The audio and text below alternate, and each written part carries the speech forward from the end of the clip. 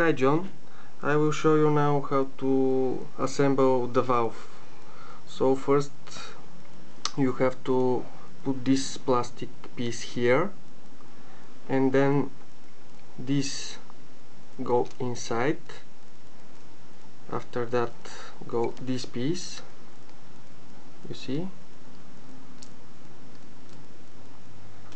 Oops.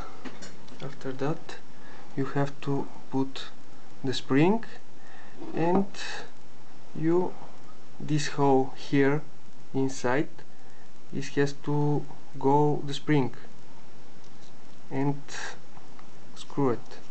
If everything is okay you have to do this freely.